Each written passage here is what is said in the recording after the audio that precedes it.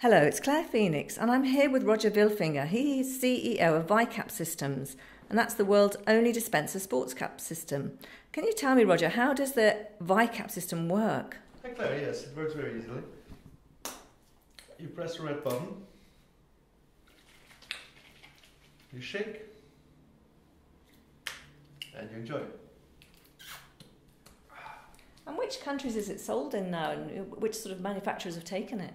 At the moment, we are sell, selling this product in beverage in Scandinavia, especially in Norway, with the ink product. Then we are in the GCC regions from Dubai, Abu Dhabi, Bahrain, Kuwait, Saudi Arabia with Joy. We are in the German market with PowerLook, and for sure here also in the UK with Raindrop. That's our main market at the moment. So, do customers buy the, the caps unfilled, or are they filled already? Our business model is to sell filled caps or even finished products out to the to, to the market. Uh, first of all, to have the control over the quality, which is very important for us because it's not so easy to fill the caps on the GMP requirements.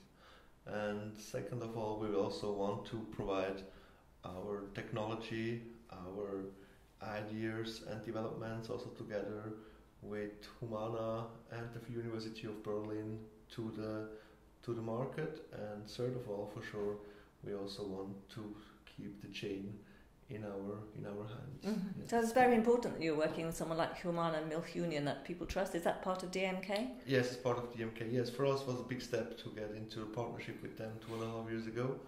They also invested one over one million euro those days back, and it's in two ways very important for us because first of all, we can also bring our own clients to them, so it's a real strategic partnership.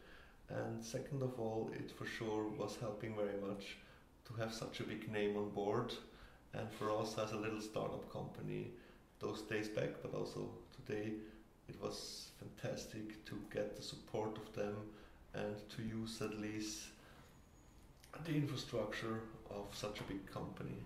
Okay, so 38 mil is the main cap size. Uh, are you looking at any others? Sure.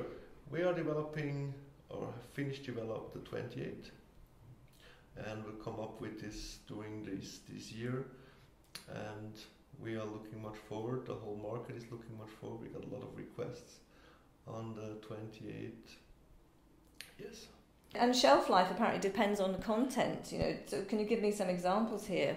Sort of vitamins. we have here shelf life of 18 months mm. with uh, with liquid and with uh, powder products we're going up to 36 months. Mm. Yeah. Excellent. That's very interesting. And your manufacturing capacity was 7 million a year, but I understand you're, you're growing. We are, we are growing quick at the moment. We just uh, did the next capacity step up to 35 million uh, caps a year. That's impressive. Yes. So, so where are they? They mostly made? Was it Turkey? You say you have a halal line? yes, right? we have a halal line in Turkey. We have uh, the pharmaceutical nutraceutical line in, in Italy. Then we have bottling in Russia. In we have one in Gdańsk, in Poland, one in uh, in Italy, and all the caps are produced and also our innovation for the caps technology is in Austria together with Montfort. Kunststofftechnik. Mm-hmm. Yeah. And which sector do you see as holding most promise? Um, for us at the moment, we are mainly in the beverage segment, but next step will be entering the nutraceutical segment very much with distribution over pharmacies. Mm-hmm. That that will be our big next step. A good strong supply chain. Yes, yeah, absolutely. great. And I am very interested in your work with uh, Berlin University. What are you doing there? We have a great partnership uh, with Professor Müller from Berlin University um, which is a specialist in functional ingredients, functional foods, and also in nanotechnologies. And to say it in simple words, you take one kilogram of orange and take out the ingredients into 10 grams.